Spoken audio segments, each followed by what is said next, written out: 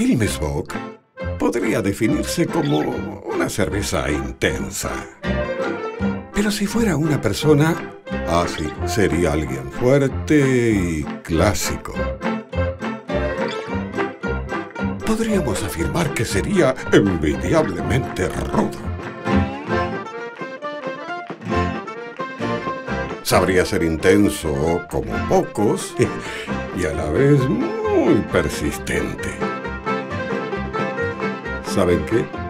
Resultaría lúdicamente atractivo. Alguien absolutamente masculino. claro que sí. Quilmes una de las personalidades de la familia Quilmes.